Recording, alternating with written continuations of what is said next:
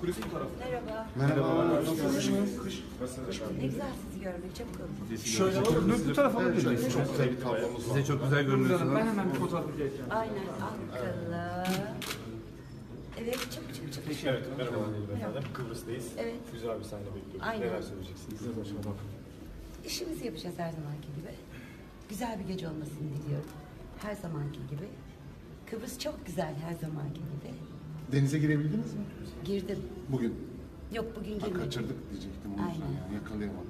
Bugün sahnem var diye hiç yormadım kendimi. Peki Yıldız sizden tatil anlayışı nasıldır? Nereleri tercih edersiniz? Denize girmek, güneşlenmek.